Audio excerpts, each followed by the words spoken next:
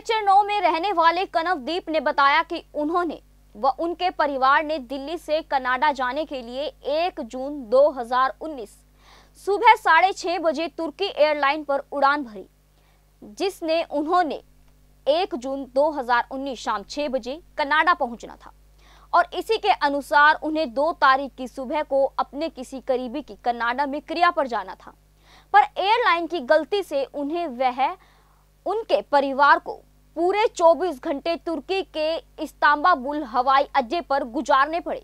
यहाँ एयरलाइन द्वारा उनकी रहने की भी कोई व्यवस्था नहीं की गई, जिस वजह से उनके परिवार को मानसिक उत्पीड़न का सामना करना पड़ा, जिस पर संज्ञान लेते हुए आदरणीय जसवंत सिंह, प्रेसिडेंट, जिला उपभोक्ता फोरम करनाल ने अपने फैसले में तुर्की एयरलाइन को कसूरवार मानते हुए उन्हें एक लाख सत्तर हज़ार रूपए का जुर्माना ठोका है।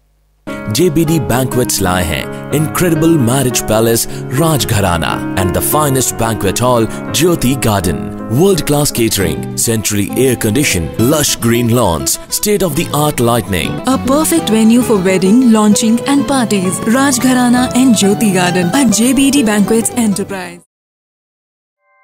ऐसे ही लेटेस्ट खबरें पाने के लिए बेल आइकन को क्लिक कर हमारे चैनल को लाइक शेयर एंड सब्सक्राइब करें धन्यवाद